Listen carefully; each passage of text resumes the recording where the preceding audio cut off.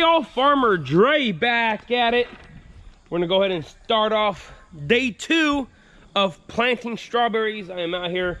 I'm gonna water these, make sure these are nice and moist. Hopefully today, Lord willing, we'll get done with the Sweet Charlies and start on the Ruby June. So let's go ahead and uh, start watering these.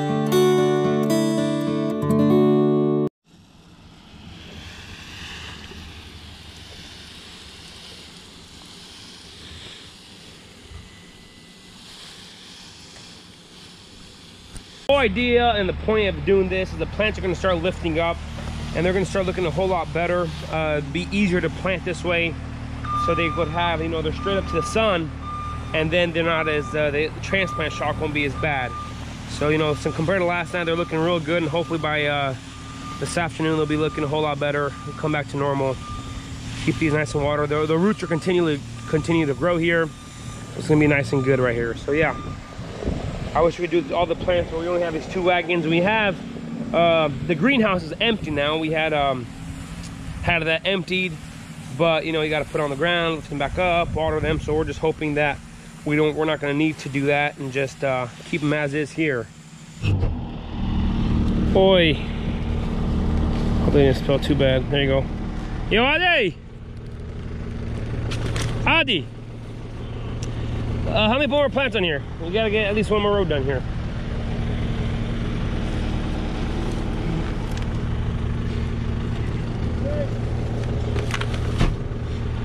What's that? Let's put more plants out here so we could uh, get it done. Oh,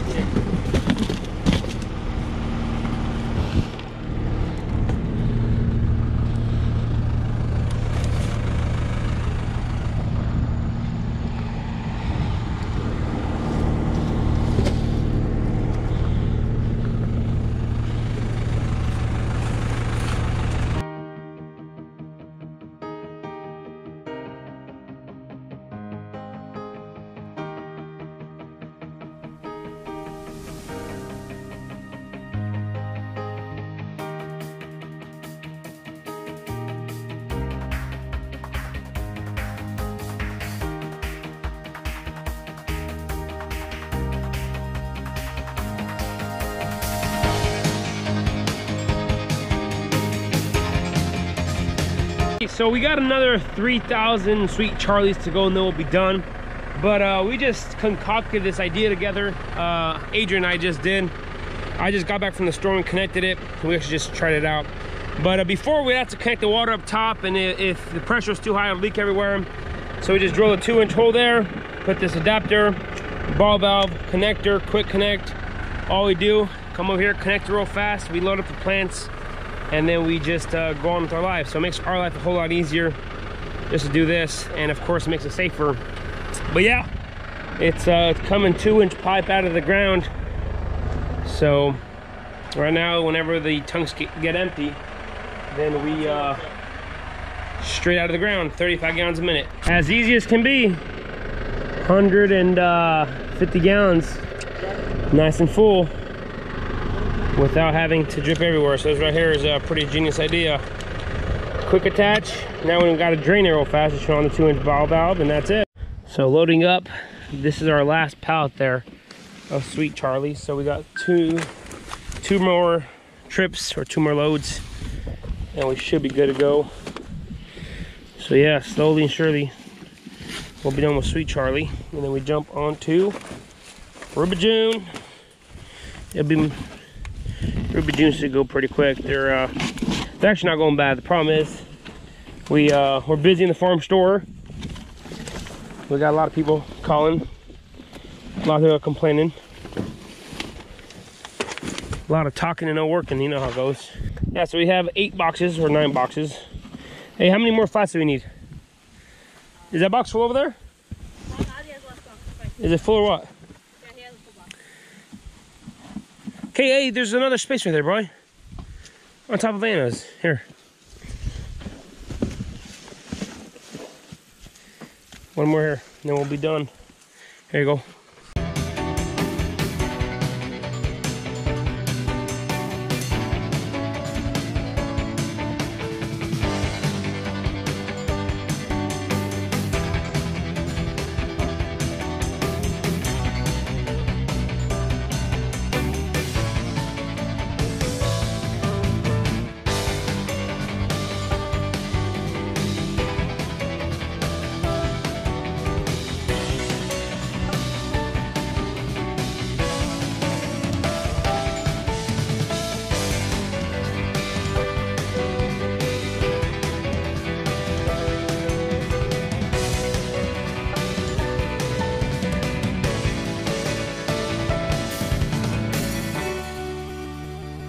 Man, I am so surprised how easily this works here.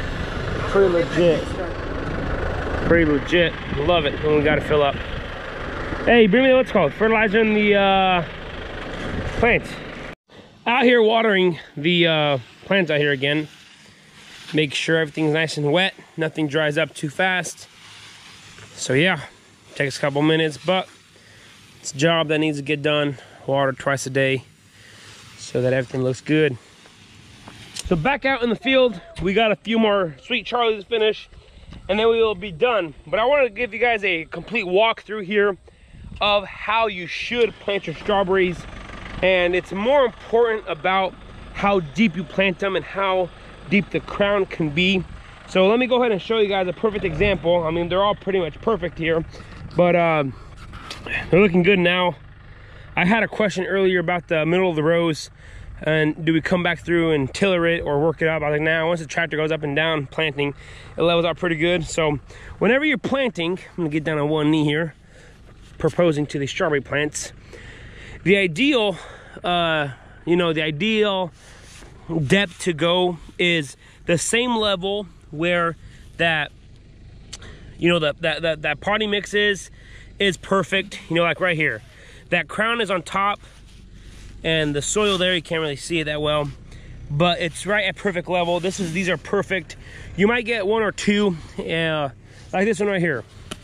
Whenever you plant this one wasn't pinched hard enough and you see how that is sticking out. The bottom of the roots is fine but that top one there uh, the crown isn't 100% on there. So ideally you want every single plug to be the same level as the soil or the top of where the potting mix ends, right on top of that cell there, to be right at the level of the soil in here. And 90, 99% of them are going through uh, perfectly, you know. That's what you want to see. You might get your occasional one that sticks out or something, but, you know, it's just uh, the ideal is put that crown at the same level of the soil as it is in the in, in the cup or in the, in the little cell count tray as in the soil. So uh, you don't want to plant it too shallow, then you don't get the uh, perfect crown development. It's gonna have a hard time, it's gonna struggle. And then if you plant it too deep, then those crowns, once again, they're gonna have hard time developing because it's gonna push out to, through too much soil. So, you know, right at the soil level, get that crown right at the soil level, that'll be perfect. So we're, we're doing a really good job of doing it.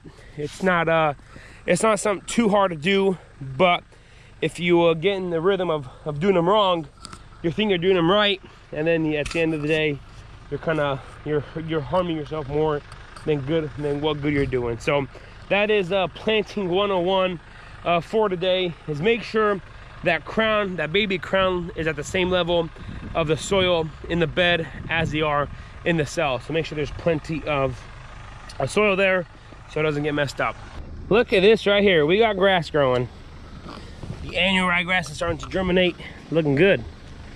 Not too bad. So what happened whenever I was irrigating these, we uh, punched the holes, put water through them, then water spray spread all through here. So they got a little bit of moisture and they're germinating. We got this load and then another four boxes and we are done with Sweet Charlie.